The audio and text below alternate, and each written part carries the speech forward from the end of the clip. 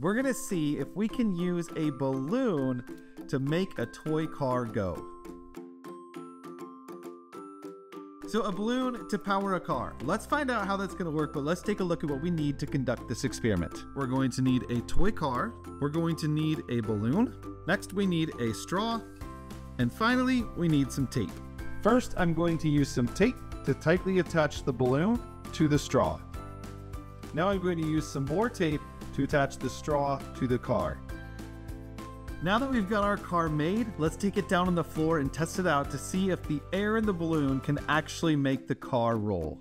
All right, let's test this out. We're gonna put some air in the balloon and see if we can get this car to roll.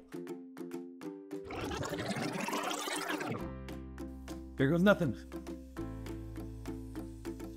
It works! It works! Isn't that cool? It actually works! But how does that work?